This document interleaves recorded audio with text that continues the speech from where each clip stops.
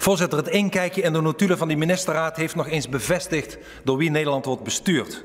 Een politieke maffia-bende. Met aan het hoofd een onbetrouwbare leugenaar als premier die, zoals we al wisten, een kritisch Kamerlid genaamd Omtzigt wilde wegwerken naar een functie elders.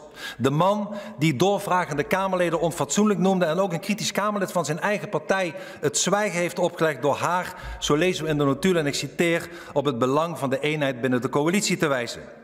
Waarschijnlijk vond ze een afgehakt paardenhoofd in haar bed, want op de lijst van de VVD kwam ze daarna niet meer voor.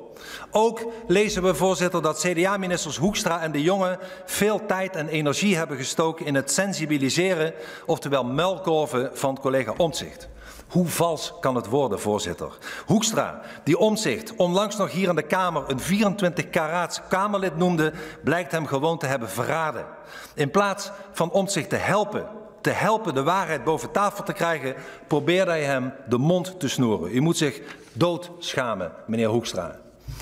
Voorzitter, en zo gaat het maar door. Waar tienduizenden onschuldige mensen in de toeslagenaffaire door toedoen van de overheid zijn gecriminaliseerd, geruineerd, probeert Rutte 3 de zaak klein te houden. Geen precedenten te scheppen, de Kamer voor te liegen, informatie te onthouden en kritische Kamerleden de mond te snoeren. En de notulen laten ook het ware gezicht van D66 zien.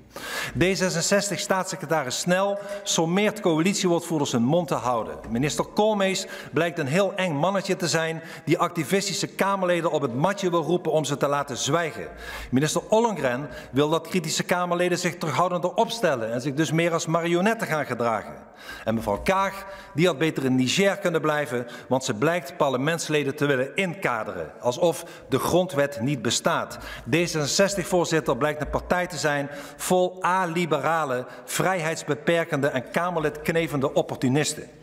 Maar volgens, volgens de minister-president, voorzitter, blijkt uit de notulen niks onoorbaars. De waarheid is echter dat de notulen een beeld geven van die ministerraad vol incompetente, bange mensen, narcisten, egoïsten, die vooral bezig waren hun eigen hachje te redden in plaats van de problemen van de slachtoffers van de toeslagenaffaire op te lossen.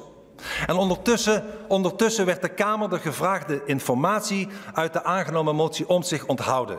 Er kwam geen volledig feitenrelaas. En dat was doelbewust, met opzet en om politieke redenen. Want dat zou alleen maar meer verstrekkende gevolgen hebben voor andere dossiers, zo lezen we. Oftewel, het zal nog meer ellende opleveren en meer geld gaan kosten. Grapperhaus stelt nog even voor om samen met Hoekstra mee te denken hoe ze ermee weg kunnen komen. Maar uiteindelijk, voorzitter, stemt de hele ministerraad ermee in.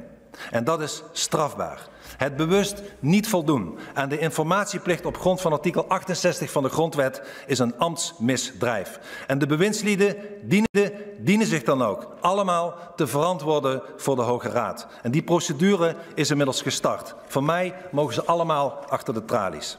Voorzitter, het is glashelder dat het vertrouwen het herstel van het vertrouwen in de politiek niet zal lukken zolang Rutte Koemsoeis er nog zitten. Zolang zij er zitten, zal er niets veranderen. Geen dunne regeerakkoord, geen discussies over macht en tegenmacht. Helemaal niets zal helpen zolang wij als Tweede Kamer met ons laten sollen. Zolang wij onze tanden niet laten zien. Is de Kamer vandaag weer lam of eindelijk leeuw? Is het een echt parlement of weer een nep parlement? Staan we nu eindelijk eens op en zeggen we als Kamer stop, hier trekken we een streep, genoeg is genoeg, dit accepteren we niet. Een kabinet dat informatie bewust voor ons achterhoudt, dat ons voorligt, dat ons bedriegt, dat Kamerleden intimideert en bruskeert, de mond wil snoeren, dat pikken wij als Tweede Kamer niet langer. Is dit dan de dag dat we dat zullen laten zien? Voorzitter, ik rond af. Ons land, onze democratie en al die onschuldige slachtoffers van de toeslagenaffaire